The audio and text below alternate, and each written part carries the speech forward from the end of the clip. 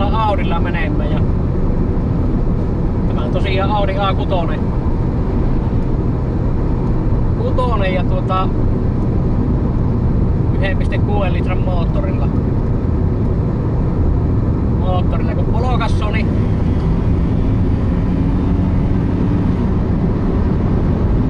hyvin kyllä, kyllä, kyllä, kyllä yksi kutonen niin kyllä voi hyvää päivää.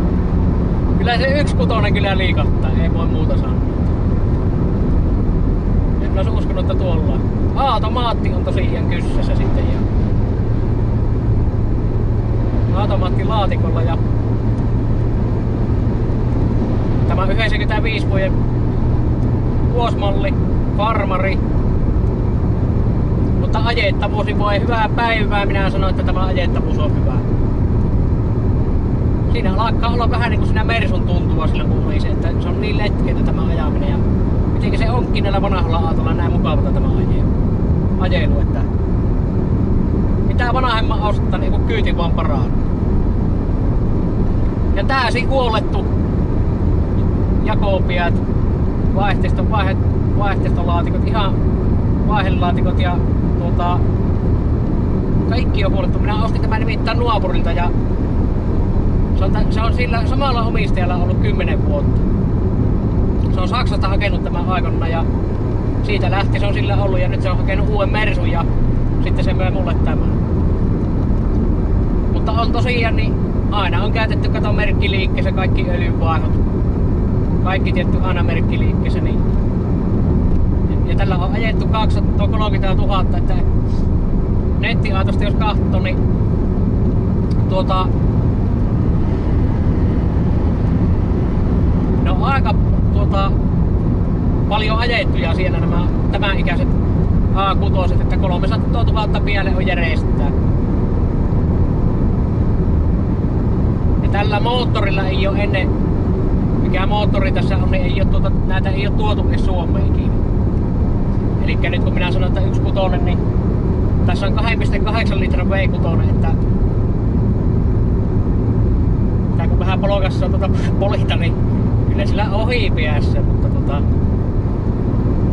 Ja tietenkin petroliahan tämä, kun tämä on bensavehe, niin viepi vähän enemmän, mutta minä ajattelin sen sillä, että kun minä minä tuota maksimissaan kaksi kertaa kuussa käyn tuolla Tampereen suunnalla, niin ei se niin paha, paha silti ole siinä, että sitten jos ottaisi dieselauto, niin se sitten kun dieselveroja ja sun muita pitää maksella, niin että minä nyt ostin bensa. Bensa ja sillä. Mutta on niin niin on yksi parhaita aatoja, millä on niinku ajanut. Kävin itse asiassa yhtä Volvoa V70 kanssa ajamassa, niin ei siinä se ajettavuus, niin voin ihan rehellisesti sanoa, niin ei yllättää tämän Audin tasoon.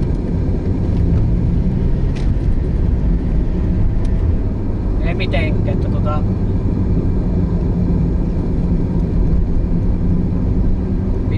maata olla hyvä ajaa. Ja Opelin jälkeen niin tämähän on ihan niinku luksusta. Tämähän tuntuu ihan luksusaatolta. Voi muuta sanoa.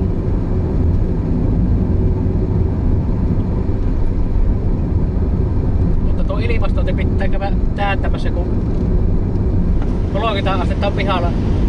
On nyt... Tässä on kattoluukku sitten tuolla, niin saadaan vähän Filiposta ilmoa, jos tarvii.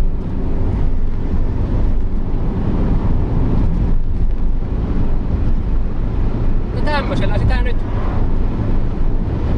kurvaillaan sitten jatkossa ja hevosvoimiahan siinä taas olla se 193. Se on samaan verran muuta kuin siinä yhdessä Pemarissa, mikä mulla oli. Niin siinä olisi kanssa 193 nyt se kurruttaa tuo ikkuna niin paha ikkuna, kun tuo kattoluukku, kun se ruppee kuulumaan semmonen vittumainen iä, kun mulle helpotti. Täällä on toki ikkuna tuosta auki.